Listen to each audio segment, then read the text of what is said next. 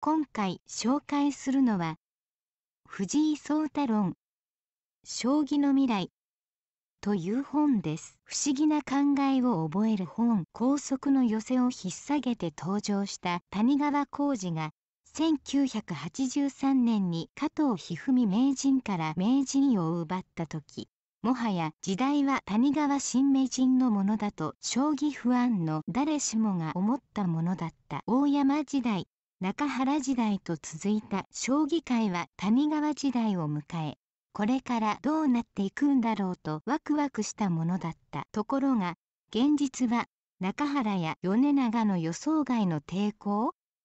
もあり明確な谷川時代というものは結局訪れずその後彗星のごとく登場したは武義治が谷川が占めるはずの地位をあっという間にかっさらっていった。た谷川も意地を見せて名人戦や竜王戦などでは武を破ったこともあったが結局大山時代中原時代の後にやってきたのは羽生時代だった。そしてその羽生も50代を新婚に控えさすがに衰えが見えるようになった平成末藤井聡太という新しいヒーローが登場した。この AI の申し子とも言うべき天才は14歳でプロ入りするや否や29連勝という前人未到の大記録を作り令和3年の今18歳にしてすでに2冠を保持する八段である渡辺名人が谷川とは部を合わせたような強さだと形容する藤井がタイトルを次々と取り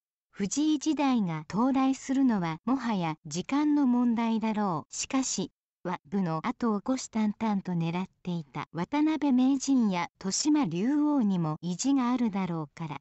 今後の藤井との拡築が楽しみである。本書はその。かつての天才。谷川浩司が現天才。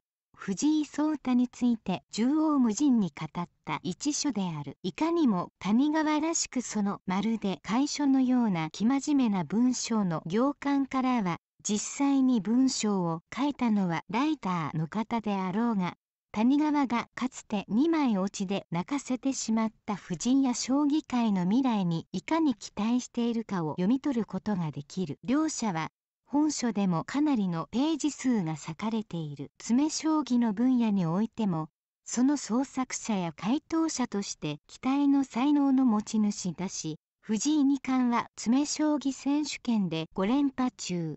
また鉄道好きという点でも共通する内容についてはすでに語られていることも多いが元天才が現天才について語る。